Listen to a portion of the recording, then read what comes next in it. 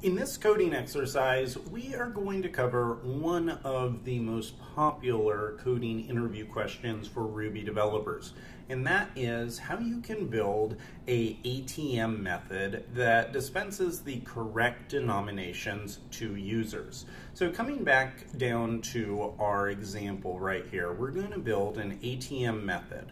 Now, there are going to be a few arguments that can be passed to the ATM. The first is the amount requested. So imagine that you go to an ATM and you say that you want $110.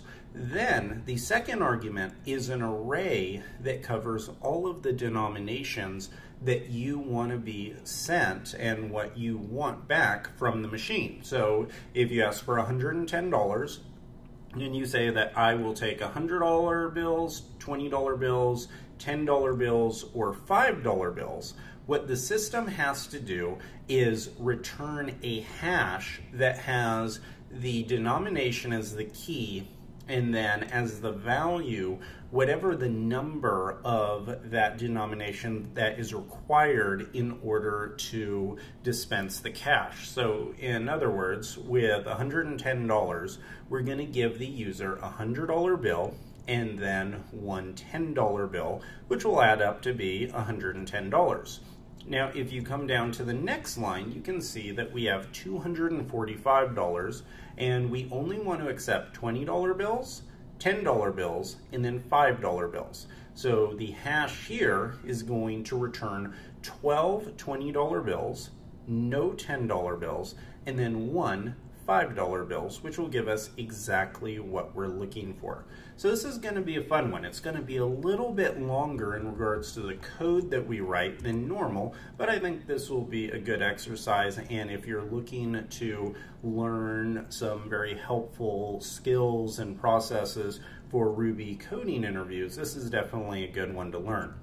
So I'm going to create our method called ATM, and this is going to take a total and then denominations. Now, a very helpful thing whenever you're building Ruby methods or classes is to be very explicit about your argument types and your method types. I think our method of ATM is pretty explicit, and then total tells me that we're going to be expecting a value, and it should be singular, but denominations, because I made it plural, what this tells me, if I were to read the documentation, I would realize that this is expecting multiple denominations, which also tells me that this is most likely going to be an array or some type of collection, which if you come down to our expectation, that's exactly what we're looking for. We're looking for the total to be some integer, and then the denominations to be an array of integers.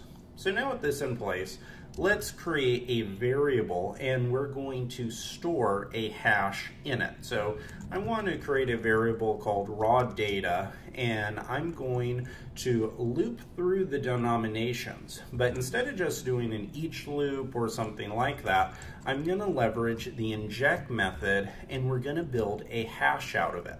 Remember that one of the most important things in this ATM method is that it can return a hash of key value pairs that contains the denomination followed by the number of items from that denomination.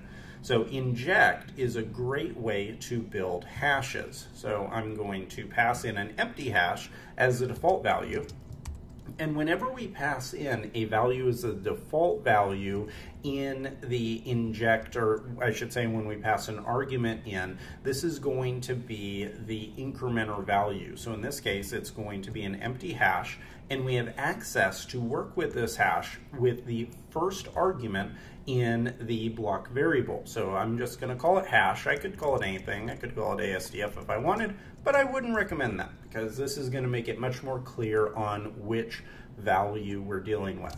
The next thing I'm going to work with is the denomination. And I'm going to make it singular because with the way inject works, this is going to be accessing each one of the denominations. So each time it loops through the collection, the first time denomination is going to equal 100, then it's going to equal 20, then 10, and then 5 for this line right here. So with that in mind, inside of our denominations inject method, now I'm going to access and add to the hash. Now the first thing I'm going to do is set up a key for the denomination and we can access this by saying hash and then brackets denomination. And if you are unfamiliar, you don't haven't really worked with hashes a ton, then we can kind of take a base case example right here. So here, if I say hash and just make it an empty hash, if I print out what this value is here, you can see it's going to be just an empty hash. And actually, we need to finish off our method here, or I, I should say I'll comment it out, because the, uh, the system that auto processes the Ruby code won't work if there's a big syntax error like that. So now you can see this is an empty hash. But now if I pass in some value like hey, and or I should say a key, and pass in one, two, three, what this is going to do is update the hash. So now it's going to have that value. And now if I print out the entire hash, it's going to have a key value pair of hey with the value of one, two, three.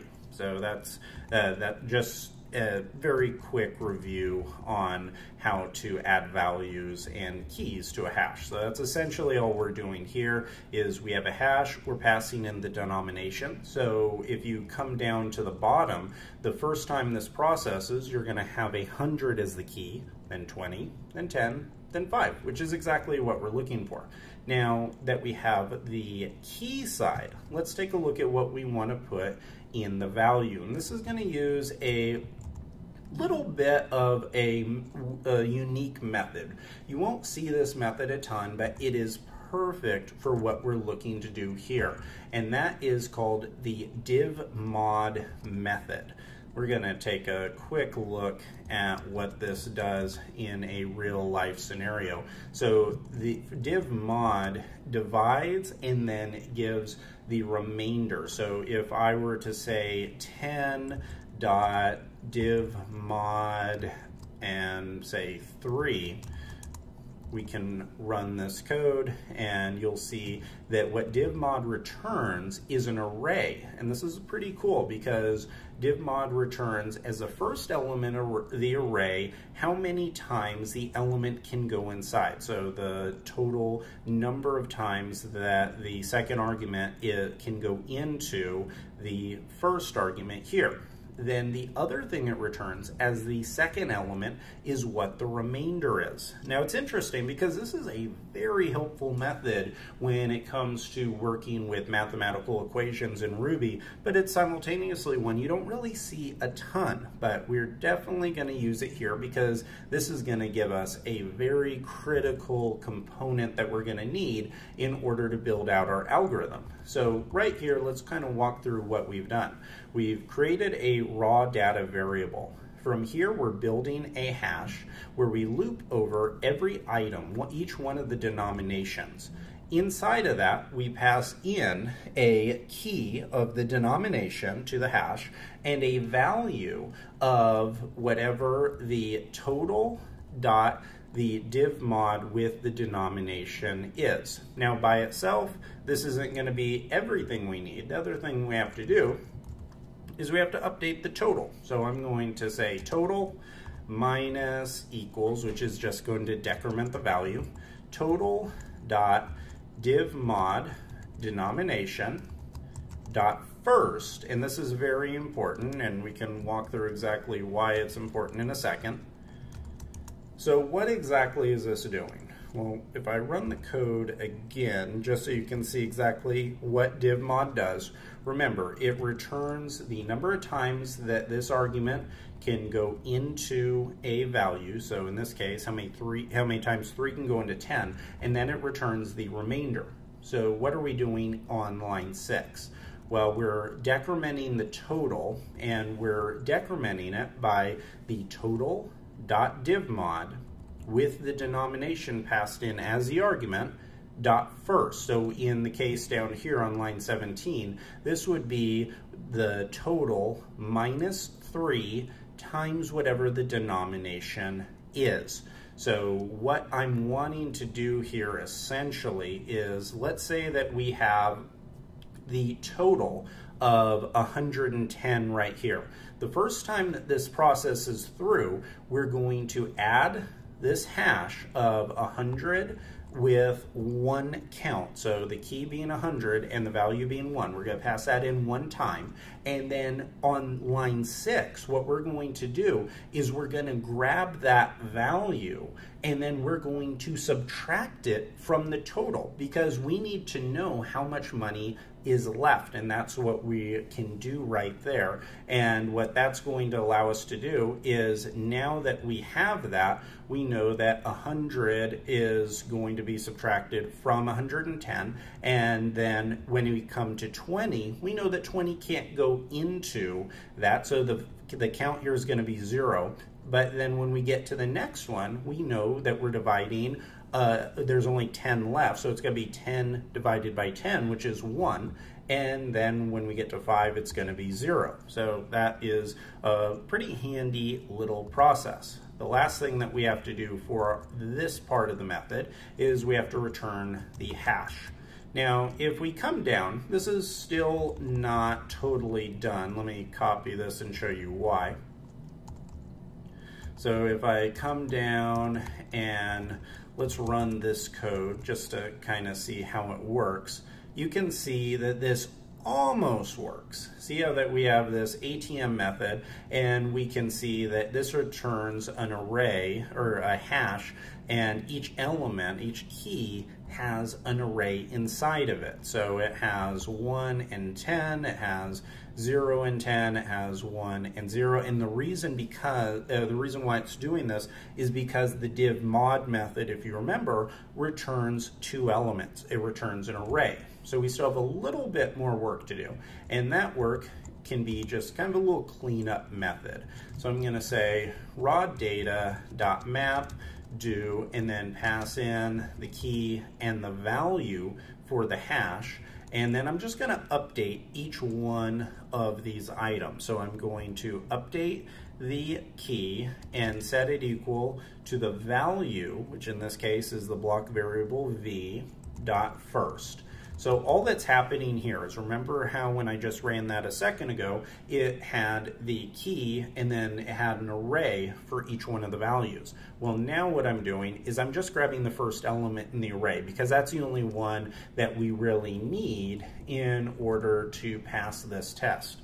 So now if I run this code, now we should have what we need. And we almost do. I just forgot one little thing. I have to update the, I have to pass in what we actually want returned. So now if I run this, there we go. We have a hash and this is working perfectly. As you can see, we have $110. It knows that we need $100 bill, no 20s, 110, and zero fives. Now if I copy this, and pass in some other number. Let's say that we want to pass in 325 and we'll keep all of these same values here. If I run this, you can see that for $325 we need a $300 bills, 120, 010s, and 15. This is working very nicely. And I've gone over a lot of the implementations for the ATM method coding interview question. And honestly, I wasn't very happy with a lot of them that I found. I didn't really find a lot that I found very elegant. And surprisingly, as much as the divmod method here helped us, I didn't find a single one that had that. That doesn't mean that there weren't any, it just weren't any when I was researching it. But I really think that this method comes in very handy when building out this algorithm. So hopefully this is one that you can, if you're doing some coding interviews, you can impress your interviewer with. So I'm going to save this and let's run it and verify that our tests are all passing. So this is going to be March 1st. Now if I run this, one example, zero failures. So this is working very nicely. I definitely recommend for you to go over this a few times. I spent way more time on this than our normal daily exercises, but I think that it's helpful because this is a little bit more on the non-trivial side and it really helps you think about how to work through algorithm development in Ruby.